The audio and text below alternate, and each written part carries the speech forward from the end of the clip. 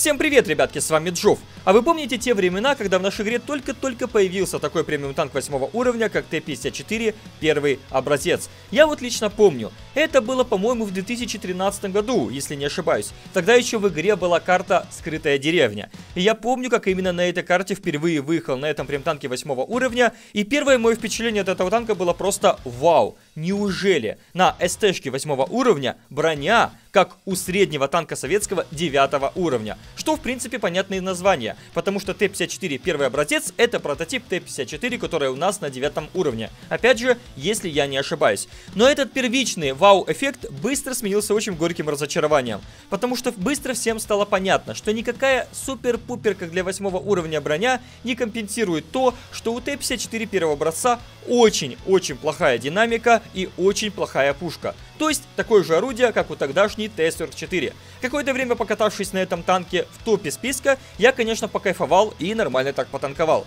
Но потом, попадая к девяткам и к десяткам, я познал всю боль. Потому что машина моя не ехала, уехать от какой-то девятки-десятки я не мог, танкануть тоже брони не хватало, ну а про пробитие я вообще молчу. Пушка старая от 44 ничего не пробивала, особо не попадала, да и ДПМа там тоже особо не было. Если все-таки та же 44 наша старая до апа кое-как крутилась и вертелась, именно опять за счет маневренности и динамики. То есть в боях с десятками она не могла выступать как полноценная СТшка, она скорее выступала как этакий жирненький светляк. То есть ей более-менее можно было как-то отыгрывать.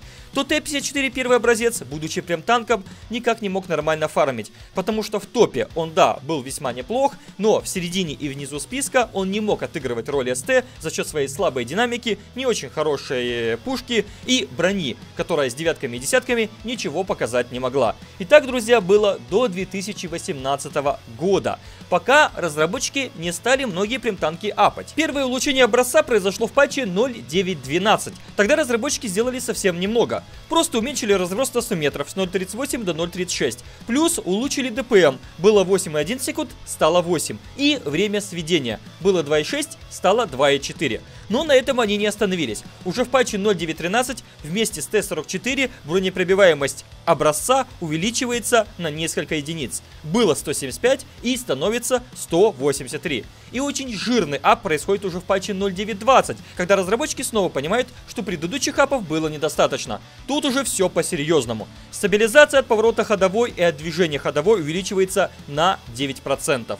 Стабилизация при повороте башни улучшается тоже на 25%. Время сведения еще сильнее бустится и уменьшается с 2.4 до 2.2. Ну и главное, наверное, обзор. Он был до этого 360 метров, и образец был достаточно слепой, СТ-шкой 8 уровня, а разработчики сделали 380.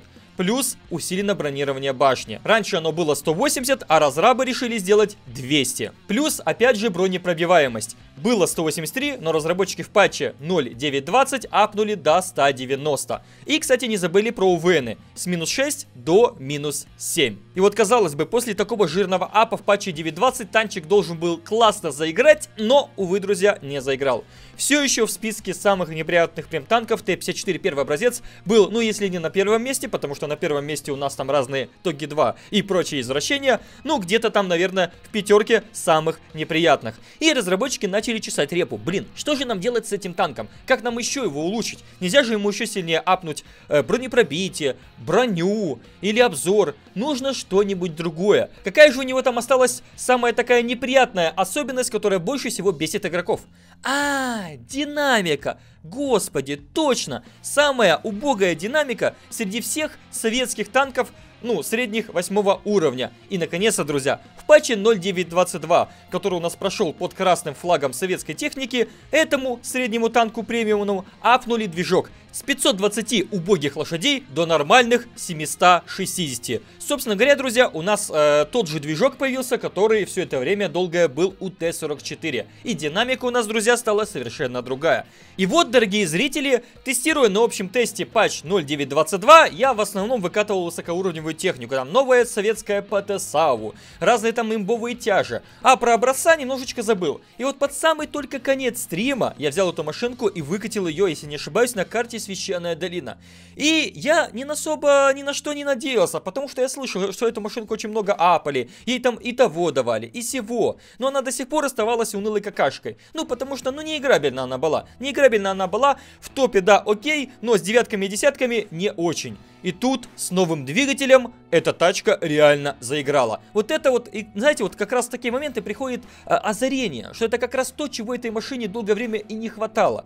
Ей реально при ее броне и орудии просто не хватало нормальной динамики. Чтобы она в каких-то ситуациях могла куда-то доехать, чтобы она в каких-то других ситуациях могла, могла откуда-то уехать, чтобы она просто не была слоупоком. Согласитесь, друзья, что в нашей игре очень мало средних танков, которые реально супер-пупер медленные. И даже если таковые есть, ну, они не очень играбельны. Вспомните того же хомяка. Офигенный барабан, нереальное количество урона на девятом уровне но огромные размеры и слоупочность. И из-за этого он просто вызывает какое-то отвращение. Да, есть, конечно, любители этого танка, я не спорю. Есть э, чуваки, которые на нем держат очень хороший средний урон. Но, опять же, так же само очень многим он и не нравится. То же самое было с образцом до патча 9.22. Слабая динамика, которая обсирала, в принципе, все на корню. Но сейчас, друзья, с этим новым двигателем Т-54 первый образец из одной из самых неприятных прям машин превращается, конечно, не в имбу, но в приятную и комфортную машину. Потому что давайте почитаем, что же у нас есть по итогу. По итогу на восьмом уровне у нас есть в принципе неплохое орудие, похожее на пушку от Т-44, только ТТХ немножечко хуже. Скорострельность 7,5 выстрелов в минуту, 190 пробития, 250 урона, разброс 0,36 и время сведения 2,2. Пушка Т-44 только по некоторым нюансам чуть-чуть лучше. В общем, вполне себе неплохое орудие, как для советского СТ 8 уровня. Да и не спорю, у некоторых других СТ 8 уровня пушка намного интереснее, пробивнее и комфортнее. Но, друзья, мы тут имеем дело как бы с советской СТ, у которой есть другие, тоже интересные плюсы. Что касается других плюсов, это прочность 1300 и броня. Вот самое главное, друзья, что вам нужно знать про образца, это то, что при теперь, при хорошей динамике, у него есть реально реально классное бронирование. Лоб башни 200 мм с наклонами по краям. Наклоны пробить практически невозможно. Там проведенка 350-460.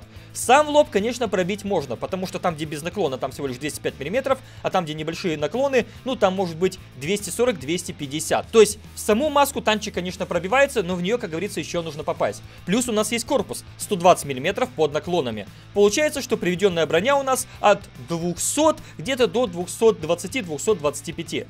Конечно, я не спорю, что гарантированно танковать каких-то тяжей 8 уровня мы не будем. Но при этом танкануть различную мелочевочку, плюс получить какой-то рикошет, это вполне себе. Мы все-таки не 44-ка, мы все-таки не Пантера 2, и мы все-таки не какие-то другие СТ 8 уровня, типа Т-69 или Першинка. У нас корпус достаточно крепкий. Плюс, друзья, борта. Борта 90 мм. Кто-то из вас скажет, что мало, но, друзья, я этими бортами вполне себе комфортно танковал на улицах Харькова каких-то Эмили, которые действительно, ну, видимо, по причине своей природной глупости, не догадывались, что пробить борта под такими наклонами меня просто-напросто невозможно. Ну и, наверное, друзья, не менее важное, это, наконец-то, адекватный обзор 380 метров, который забустится разными вашими перками и оборудованиями, и, может быть, даже получится там где-то 420 или 430, и можно, то есть, подсветить и для восьмерок, и для девяток, девяток. Ну и это, конечно, нормальная динамика. Да, максималка у нас всего лишь 44, в то время как у Т-44 обычного 51 км в час. Но это нам не мешает эту 44-ку нормально набирать и, в принципе, динамично двигаться. Ведь проблема у образца всегда была не с максималкой, а с тем, что он эту максималку практически никак не мог никогда набрать. Разве что, наверное, с горки, как мешок с э, какими-то неприятными э, наполнениями. Вот, а сейчас машина наконец-то начала ездить, наконец-то она начала куда-то доезжать, и наконец-то она может себя почувствовать нормальной, здоровой СТ-шкой. То есть, раньше у нас была какая-то СТ-шка курильщика, а сейчас это СТ здорового человека. По итогу, друзья, я не могу сейчас смело и э, настойчиво рекомендовать образец к покупке. Нет, наверное, все-таки на восьмом уровне даже среди советской техники есть, наверное, какие-то более интересные и нагибучие машины. Например, тот же защитник. Э, к сожалению, он только редко продается. Но если у вас был уже в ангаре образец, если вы еще не успели его обменять по трейд-ину, не делайте этого. Это сейчас реально стала добротная, нормальная, хорошая машина. Да, я не буду говорить, что вы будете комфортно играть с десятками, потому что, наверное, ни одна СТ-8 уровня комфортно себя с десятками чувствовать не может. Особенно в нынешнем рендоме и на нынешних некоторых очень кривых картах, типа аэродрома или рыбацкая бухта. Но нормально более-менее играть на уровне остальных СТ-8 вы сможете. Ну а если говорить про какие-то бои с девятками или даже с восьмерками или вообще в топе, ну, тут, чуваки, честно говоря, мне на самом деле даже образец больше нравится, чем Т-44. Хотя Т-44 всегда была, в принципе, не то чтобы моей любимой машиной, но приятной для меня. Сейчас образец реально на голову выше, чем обычный советский СТ 8 уровня, потому что при такой же примерно динамике, при такой же примерно пушке, у него реально крутая броня. То есть, если у нас Т-54 достаточно неплохо танкует на 9 уровне, то примерно так же с оглядкой на уровень у нас хорошо на 8 уровне танкует Т-54 первый образец. В общем, разработчики сделали то, что надо было сделать. Они добавили мощности движку, и машина наконец-то поехала. Спасибо, ребята, что посмотрели этот небольшой обзор, надеюсь, он вам понравился. Если вы со мной согласны, жмите лайк, подписывайтесь на канал, и мы с вами обязательно увидимся в каких-то новых видосах. Пока-пока! Goodbye, motherfucker!